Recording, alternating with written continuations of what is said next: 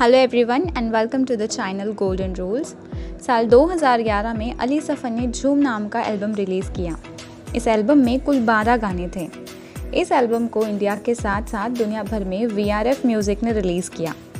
ये album release होते ही smash hit हो गया। खासकर इस एल्बम का टाइटल ट्रैक झूम। अब रिलीज़ के 11 साल बाद अचानक से ये गाना इंस्टाग्राम या यूट्यूब पर वायरल हो रहा है।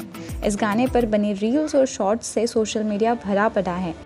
मगर ये गाना 11 साल बाद दोबारा पब्लिक की नज़र में कैसे आया और इसकी क्या मिस्ट्री है, आइए हम जानते हैं। बट इससे पहले अगर आप इस चैनल पर नए हो तो आपने इस चैनल को सब्सक्राइब ज़रूर करना है, क्योंकि ऐसे ही इन्फॉर्मेटिव वीडियोस आपको इस चैनल पर देखने मिलेंगे। 11 साल बाद झूम कहाँ से हाथ लगा? झूम गाने के वायरल होने के पीछे बड़ी इंटरेस्टिंग स्टोरी है।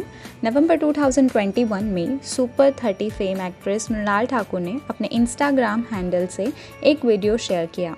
ये वीडियो कतार की राजधानी दोहा का है। अली जफ़र समेत कई सेलिब्रिटीज़ को कतार टूरिज़्म की तरफ़ से बुलाया गया था। मृणाल ने जो वीडियो शेयर किया है, इसमें ब्रेकफास्ट टेबल पर बैठे अली जफ़र झूम गाना गाते दिखाई दे रहे हैं। ये वीडियो आया और खूब पसंद किया गया। कुछ लोगों को ये गाना भी बहुत अच्छा लगा। अचानक से गाने की यूट्यूब व्यूज़ में उछाल आ गया। इसके कुछ ही समय बाद अभिजीत वाघानी नाम के एक आर्टिस्ट ने झूम गाने का रिमिक्स क्रिएट कर दिया।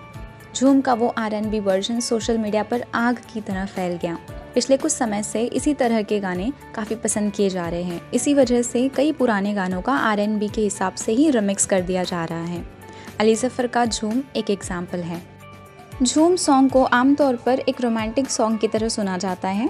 मानो कोई शख्स अपने पसंदीदा शख्स के लिए वो गाना गा रहा हो, मगर अली का ये एल्बम, झूम, पॉप और सूफ़ी गानों का मिक्स था। जब जूम 2022 में रील्स और शॉर्ट्स में छाने लगा, तब अली जफ़र ने एक ट्वीट किया और एक वीडियो भी शेयर किया। इस इस वीडियो के साथ अली जफ़र लिखते हैं 11 साल पहले मैंने झूम नाम का एक गाना लिखा था। ये गाना उस खूबसूरत चीज़ के बारे में बात करता है, जिसे हम जीवन कहते हैं। और ये जीवन कैसे हम सबके बीच बहकर हमें धागे की मोतियों की तरह पिरोता है। आप सबको इस गाने पर पहले से भी ज़्यादा झूमता देख मेरा भरोसा मज़बूत होता है।